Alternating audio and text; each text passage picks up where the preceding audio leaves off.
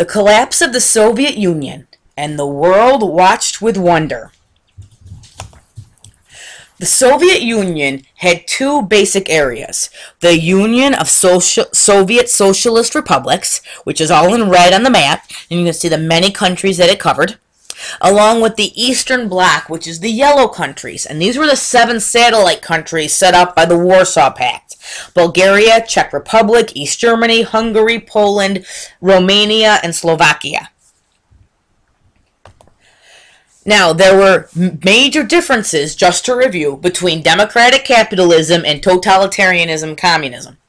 All right, first of all, capitalism is all about the money. With communism, it's all about everyone being the same, every everyone working the same and doing what is best for your country. And the two major things that were running this kind of old-fashioned, we talked about Cold War, or military strength, and arms race, who had the bigger bomb, and of course the technological race of space race, who was going to get to space quicker. Now, did the Soviet Union and, and communism fall due to force? No. That's why the Cold War is called the Cold War.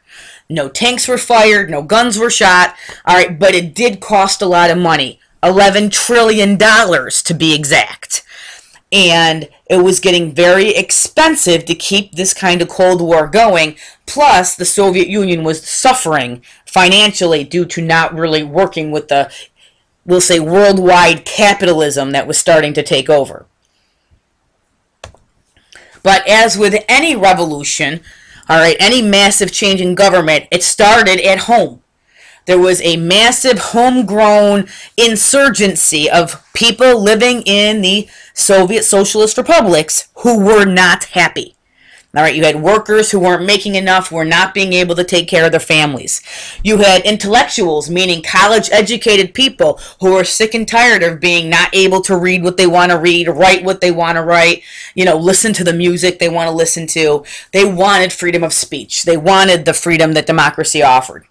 And you had a lot of advocates for national self determination, nationalism at its finest.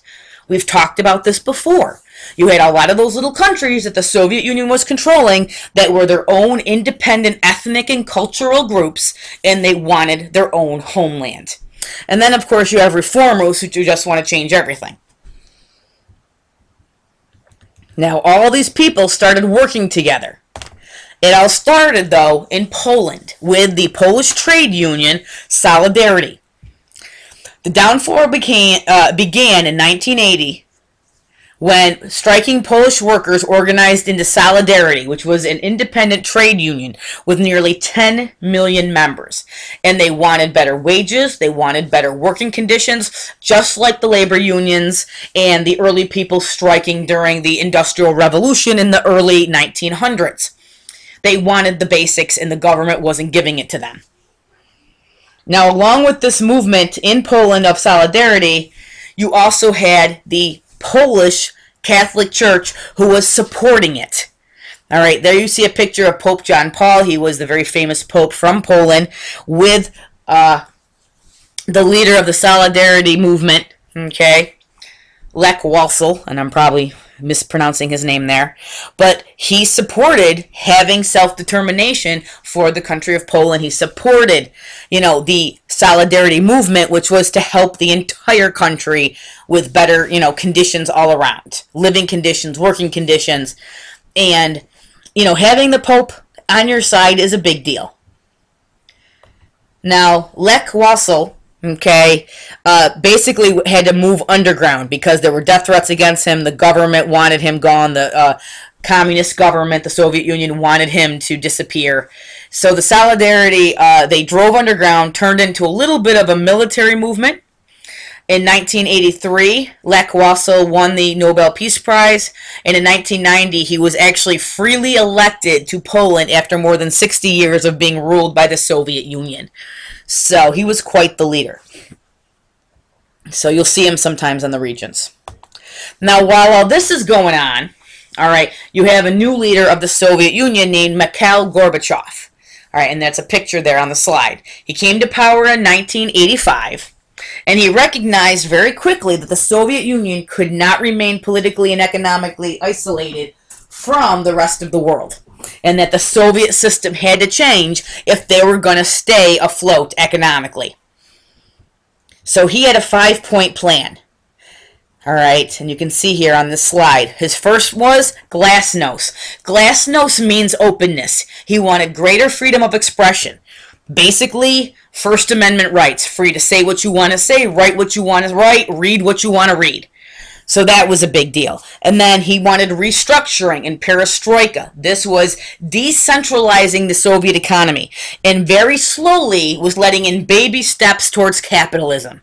So glasnost, greater freedoms of expression, perestroika, restructuring. You see these a lot on the uh, exam. He also did the renunciation of the Brezhnev Doctrine, which basically armed intervention where socialism was threatened. He said that if people were going to start questioning socialism, questioning the uh, communism, he was not going to send in the army to crush these people, which was a big change from what normally happened. He also wanted to reform the KGB. That's the secret service, the secret police that the Soviet Union had, still has. And, you know, we talked about how they would just, you would disappear in the night. You'd go for a, a walk to get milk and eggs, and you'd never come home because the KGB grabbed you. He ended that policy. He also tried to bring more change to the Communist Party. Now, all this did not happen overnight, and there were many uh, Soviet members of the Soviet Union government who did not support Gorbachev. They thought he was a little crazy. They wanted to keep the power. But he knew in order to participate in the world economy, we have to start, you know, playing well with others. We have to find a way to bring in some uh, capitalism. The objection of all this was survival. Okay, Gorbachev knew the Soviet Union would have to change if it was to survive. Central planning in a modern industrial economy had, was too inefficient. The factory management system was very inefficient. The socialist farm system was not working. There was not enough food for the people. And they couldn't afford the high defense spending that was going on with the Cold War. They, you know, all their money was going towards weapons. And that's not a good thing if your people are starving.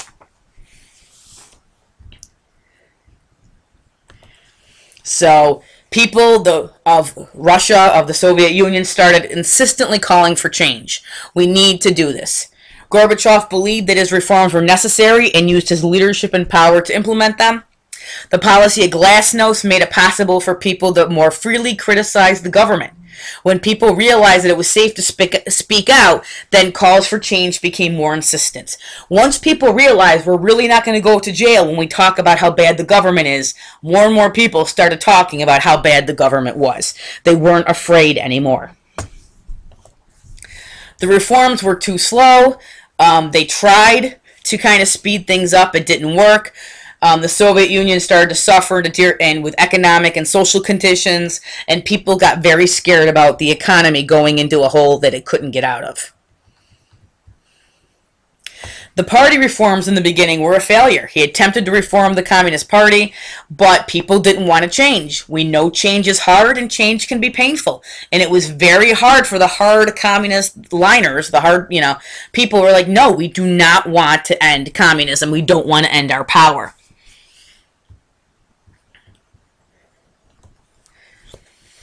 With the renunciation of the Brezhnev Doctrine, where, you know, people now could rise up and the army was not going to shoot them down, a lot of communist rulers in independent states couldn't survive without the Soviet Union. The Soviet Union was the big gun. They were the baseball bat behind every guy who, you know, was controlling his area. When the Soviet Union's army wasn't going to show up anymore, then the people started rising up against these horrible rulers and saying, you know, we can take you on now because your bat has been put away. Your big guns are not going to show up. You can see here now Ronald Reagan was the United States president during this time, and you can see the world according to Ronald Reagan. It's kind of a little funny thing there, but you can see the USSR, and here's the United States, and because we were the big players in the 1980s. In the 1980s, President Ronald Reagan gave a very famous speech at the gate of Brandenburg at the Berlin Wall. And he said the very, you know, the it's still quoted today. He said that Mr. Gorbachev open this gate, Mr. Gorbachev tear down this wall. basically saying we need to end communism, we need to work together, and Gorbachev heard it. And here's a picture of him giving that very famous speech in 1987. Beginning in September 1989, a wave of huge demonstrations shook communist regimes across Eastern Europe. A massive tide of East Germans surged into Czechoslovakia and Hungary to the west, undermining the whole authority of the Communist Party, who were still trying to hang on. There was a big, big push in Germany to tear down the uh, Berlin Wall and to unite Germany into East Berlin, or East Germany and West Germany. Here's a very famous picture of them. They're blocking a train in East Berlin because they want democracy. This is in October 1989. Their banner reads legalization of opposition parties, meaning other political parties, free democratic elections, free press, and independent unions. All the things that we have here, believe it or not, in America. Finally, in November 9th, 1989, the wall came down. Ordinary Germans poured through the Berlin Wall. They started literally taking it down piece by piece and by, you know, it was a wonderful party atmosphere and they tore it down. And by 1990, East Germany had been incorporated back into West German, and they were West Germany, and they were a unified country, which they still are today. And they're one of the strongest countries in Europe. Now, out of all of this came the rise of nationalism. All of those Baltic states, part of the Balkan Peninsula that have always caused issue, well, they still, even here it is 100 years later, almost 100 years later, they were still fighting for the nationalism and their own independent countries that they wanted before World War One. And so now that the Soviet Union was weakening, a lot of these countries were starting to rise up. The people were rising up and saying, we want to be independent. We don't want to be ruled by the Soviet Union anymore. Communist governments in Czechoslovakia, Hungary, and Bulgaria either tumbled or underwent reform. Communist dictators in Romania uh, fell. Many of this was very violent with a lot of dead people in the streets. Radicals finally moved into the Soviet heartland, and in 1991, thousands of Russian citizens poured into the streets, basically creating a coup d'etat, saying communism is dead in Soviet Union. We are now going back to our old name of Russia. The independent republics slowly started separating from the, the Soviet Union and began the very painful process of trying to be independent nations without the help of the Soviet Union.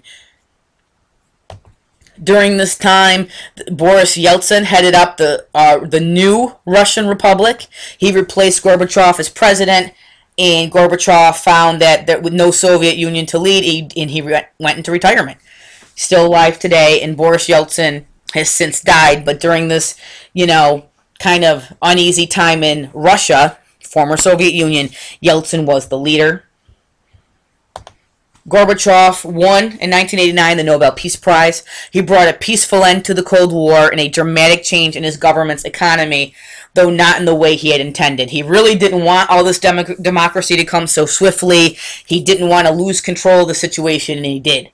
But, you know, it all ended up in the, well in the end.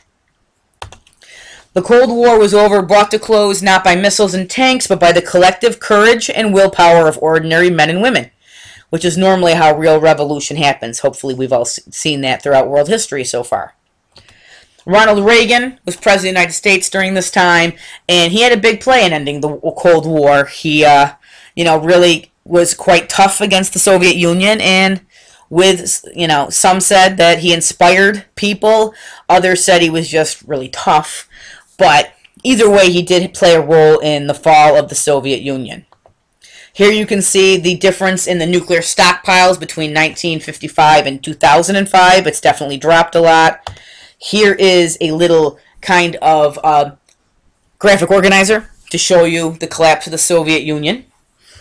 And then here is a quick list of the remaining communist countries. Soviet Union, they've all broken up and become independent. A lot of them right now are not stable due to the uh, a lot of the terrorist movements moving into some of them. Um, most of them, as you can go through these, are not as stable as we want them to be. The only uh, communist countries left are North Korea, China, but as we said before, that's and Cuba's on its way out. So that's it.